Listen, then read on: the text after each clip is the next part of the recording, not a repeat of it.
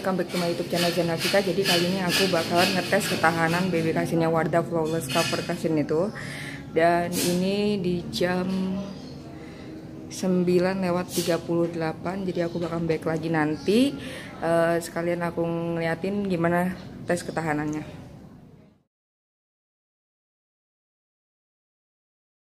Oke, jadi ini aku bakalan ngecek uh, ini udah di jam 11.29 aku belum ngerasa ini ada oksidasi atau apa pun tapi aku bakalan cek lagi nanti. Soalnya ini aku bakalan pergi seharian panas-panasan dan juga jalan kaki biar supaya keringetan gitu biar ngelihat hasil akhirnya dari tes ketahanan ini. Jadi aku bakal balik lagi nanti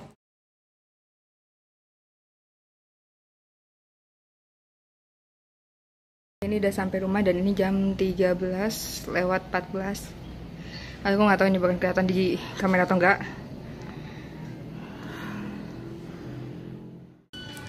Oke, okay, ini udah di jam 13.21 uh, Tadi aku udah naik motor Terus uh, ngetes juga di jalan Terus aku bikin panas-panasan gitu.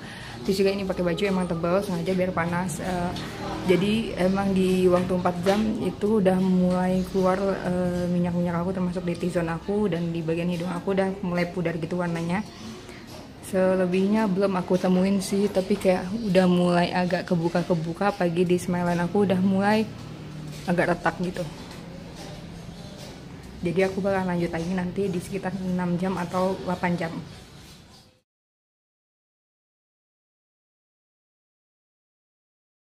Oke, okay, ini udah di jam 15.17, which mean udah hampir 7 jam. Ini make up nggak aku lepas. Uh, nggak aku maksudnya nggak aku hapus dan ini udah mulai bener-bener T-zone aku kelihatan banget oilinya udah nggak terampuni gitu oilinya keluar semua terus uh, kalau misalnya ini di non light atau nggak ada sinarnya ini nggak terlalu kelihatan kalau misalnya udah lumayan crack. Padahal ini kalau di aslinya udah crack gitu cuma ya aku sukanya karena has, uh, ini nggak dempul jadi nggak terlalu kelihatan banget ini hancur. Soalnya masih beda-beda tipis sama kulit dan oksidasinya nggak terlalu tinggi juga jadi nggak terlalu gelap tapi kalau untuk yang make kontur ini sangat kayak aku pakai kontur jatuhnya jadi malah berantakan. Ini malah kotor gitu. Soalnya mulai kegeser-kegeser. Jadi aku bakal balik satu jam lagi. Satu jam atau satu jam setengah.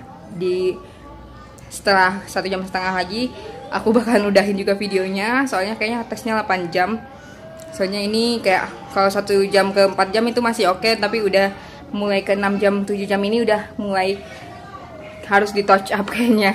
Udah nggak betah juga aku sama make up yang agak bleber gini.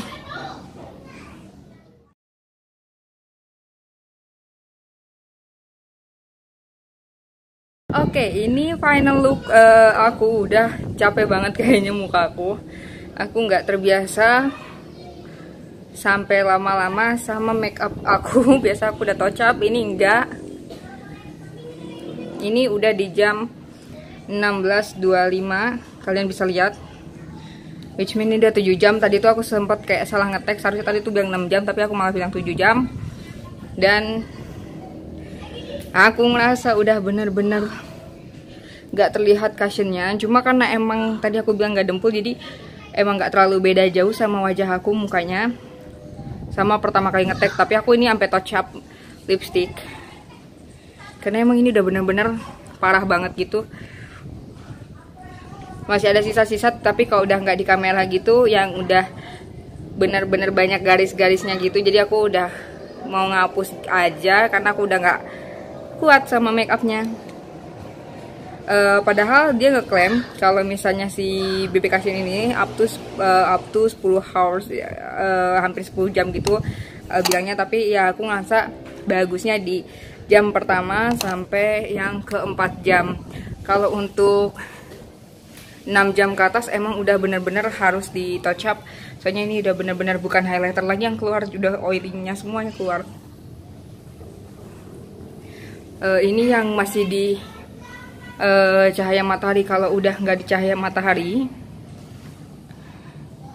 ini bisa kelihatan ini bener-bener yang kuat oilnya semua terus muka aku udah belepetan banget tapi kalau masih di kamera kayaknya masih kelihatan bagus. Cuma kayak kontur, blush on dan semuanya udah mulai ngegeser semua oksidasinya tapi aku lebih suka oksidasinya soalnya dia nggak menggelap banget. Biasanya kalau cushion itu lumayan gelap tapi ini nggak terlalu gelap hasilnya. Meskipun udah 7 jam. Untuk uh, coveragenya aku emang bilang ini medium to low tapi aku suka karena ini gak dempul. Jadi sampai akhir pun aku ngerasa kulit aku masih sama seperti di awal meskipun udah oilnya udah pada keluar. Karena dia gak dempul banget. Jadi cukup sekian aja review dari aku. Jangan lupa like, comment, dan subscribe. Thank you for watching. See you and bye bye